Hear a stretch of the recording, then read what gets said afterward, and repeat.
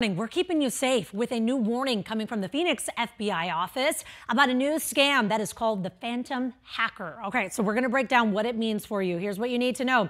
The FBI says scammers are tricking older victims into thinking their financial accounts have been hacked and they need to immediately move to get their money to an alleged U.S. government account in order to protect their assets.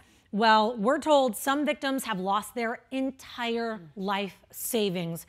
I know it is heartbreaking when this happens to families. So, in order to protect yourself, Here's what we found. The FBI says do these things. First, never click on unsolicited pop ups, text messages, or links. Also, don't call any of those unsolicited phone numbers either.